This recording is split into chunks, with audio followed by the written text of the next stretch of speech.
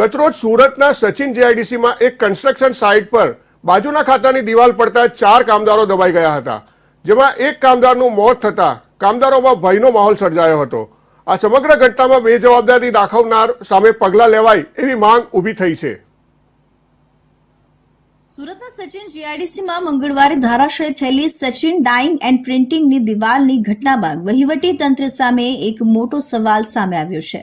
જે કંપનીની દિવાલ ધરાશાયી થઈ, તેના માલિક પવનભાઈને આ મામલે જ્યારે અમારી ટીમે મળવાનો પ્રયાસ કર્યો, ત્યારે તેમણે મળવાનો ઇનકાર કરી દીધો. તો જે કન્સ્ટ્રક્શન સાઇટ પર બેઝમેન્ટનું કામ ચાલી રહ્યું હતું, અને તે દરમિયાન સચિન ડાઇંગ એન્ડ પ્રિન્ટિંગ મિલની દિવાલ ધરાશાયી થતા સેનેટિંગનું કામ કરી રહેલા શ્રમિકોમાં નાસભાગ મચી ગઈ હતી, જેમાં ચાર શ્રમિકો ગબડી પડ્યા હતા. અને તે દરમિયાન ધારાશાયી દિવાલ આ ચાર શ્રમિકો પર પડી હતી. જેમાં એક શ્રમિકનું મોત નીપજ્યું હતું, જ્યારે અન્ય શ્રમિકો ઈજાગ્રસ્ત થયા હતા. ઘટનાની જાણ થતાં ફાયર વિભાગ ઘટના સ્થળે દોડી ગયું હતું. ફાયર વિભાગે પહેલા એક યુવકને બહાર કાઢ્યો હતો, જેનું મોત થયું હતું. જ્યારે અન્ય બેને સામાન્ય ઈજા થઈ હોવાથી તેને સારવાર અર્થે હોસ્પિટલ ખસેડ્યા હતા. જ્યારે એક ગંભીર ઈજાગ્રસ્ત અને દબાયેલા યુવકનું રેસ્ક્યુ કરાયું હતું. કાલે સવારે દસ વાગ્યા બનાવ બન્યો હતો. એમાં ત્રણ લોકો ઇન્જર્ડ હતા.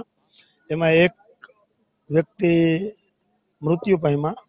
એમને વર્ક કમ્પેબેશન પોલિસી મુજબ સારી એવી સહાય કરી છે. અને બે મજદૂર હતા, એને પ્રાઇવેટ હોસ્પિટલમાં લઈ એની ટ્રીટમેન્ટ કરાવી. અને બંનેને રજા પણ થઈ ગઈ છે. એને કોઈ એવી ગંભીર ઈજાઓ નહોતી. એને હિસાબે એને બેને હોસ્પિટલમાંથી ડિસ્ચાર્જ પણ કરી દેવામાં આવ્યા છે. ઘાયલને કઈ કઈ પ્રકારની સહાયતા કરવામાં આવી? ઘાયલને કંઈ લાગેલું હતું જ નહીં એટલું બધું. એટલે એ તો અત્યારે ઓલરેડી અહીંયા કામ પર પાછા લાગી ગયા છે. એટલે એને કોઈ એવી જરૂર નહોતી. અને છતાંય અમે કોન્ટ્રાક્ટરને કીધેલું કે ભાઈ એને કોઈ જરૂરિયાત હોય તો માનવતાની દ્રષ્ટિએ આપણે સાથે ઊભું રહેવાનું છે.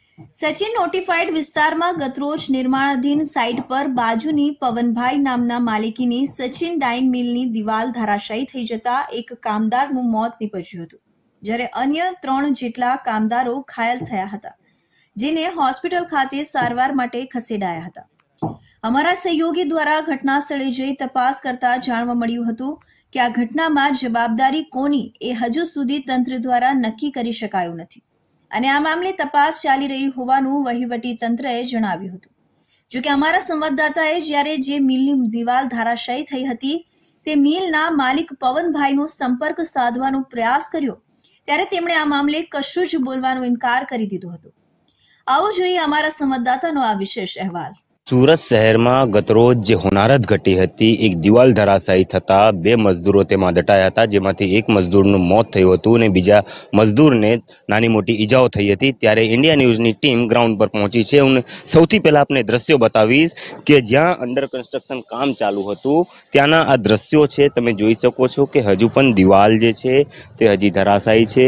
ફાયર વિભાગ દ્વારા અને તંત્ર દ્વારા મહા મહેનતે જહેમત કરી આ તમામ વસ્તુઓ ને નિવારણ લાવી હતી અને જે મજદૂરો દટાયા હતા તેમને બહાર કાઢવામાં આવ્યા હતા. શરૂઆતમાં એક મજદૂર જ્યારે ગંભીર હાલતમાં બહાર નીકળ્યો હતો ત્યારે તેને સારવાર માટે હોસ્પિટલ ખસેડવામાં આવ્યા હતા. જ્યારે બીજા મજદૂરની શોધખોળ હાથ ધરી હતી, તો તેમાં બહાર આવ્યું હતું કે બીજો મજદૂર જે છે એ દટાઈ ગયો હતો અને દટાવાને કારણે ભારે દિવાલ ધરાશાયી થતાં તેનું મૃત્યુ નીપજ્યું હતું. તો ત્યારે હાલ આ જે સાઇટ છે તે બસો સિત્યોતેર નંબરની સચિન જીઆઈડીસી નોટિફાઈડ એરિયાની સાઇટ છે અને જ્યારે આ નોટિફાઈડ એરિયાની સાથે સાથે તેની બાજુમાં જ બસો ઓગણસિત્તેર નંબરની Sachin dyeing and printing mill આવેલી છે, જે પવનભાઈના નામે છે, જેના માલિક પવનભાઈ છે. ત્યારે હું તમને તે મિલ પણ બતાવીશ કે આ તે મિલ છે, સચિન ડાઇંગ મિલ અને પ્રિન્ટિંગ મિલ, જેની દિવાલ ધરાશાયી થઈ હતી અને તેની બાજુમાં ચાલતું અંડર કન્સ્ટ્રક્શન જે કામ છે, તેમાં ક્યાંક ને ક્યાંક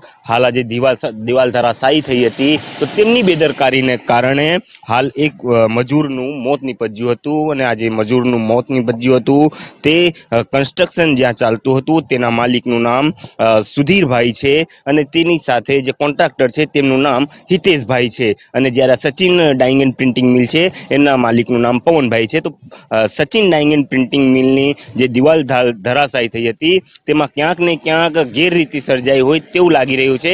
જેના કારણે નજીકમાં ચાલતી સાઇટ પર તેમના કંપનીની દિવાલ ધરાશાયી થતાં બે મજદૂરોને ગંભીર રીતે ઘાયલ થતાં એક મજદૂરનું ઘટનાસ્થળ પર મોત નીપજ્યું હતું. ત્યારે તંત્ર દ્વારા હાલ આ તમામ મુદ્દે પોલીસ તંત્ર દ્વારા અકસ્માત ગુનો નોંધવામાં આવ્યો છે અને તપાસ શરૂ કરવામાં આવી છે. સાથે સાથે ફાયર વિભાગ અને અન્ય પણ તંત્ર દ્વારા હાલ અહીં કામગીરી શરૂ કરી દેવામાં આવી છે.